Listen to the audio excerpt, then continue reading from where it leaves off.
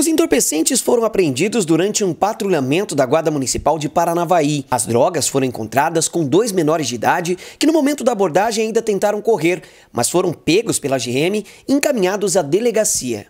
De acordo com informações da Guarda Municipal, a prisão aconteceu enquanto os agentes da Guarda Municipal realizavam um patrulhamento pelo bairro. Em determinado momento, os guardas avistaram dois homens em atitude suspeita, que ao verem que a viatura havia se aproximado, eles jogaram uma mochila. Ao verificarem o que havia dentro dessa mochila, os guardas encontraram uma grande quantidade de entorpecente e também uma quantidade em dinheiro.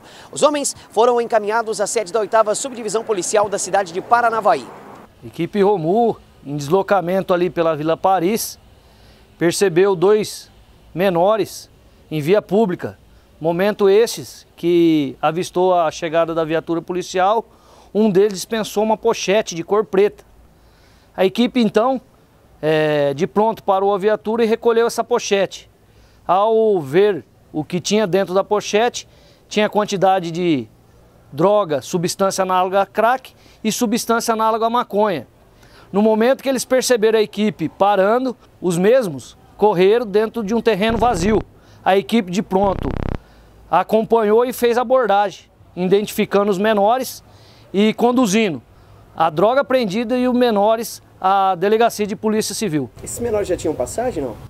Rodrigo, é, diante do exposto, foi perguntado aos menores se é, já havia tido passagem pela polícia, os mesmos confirmaram que sim.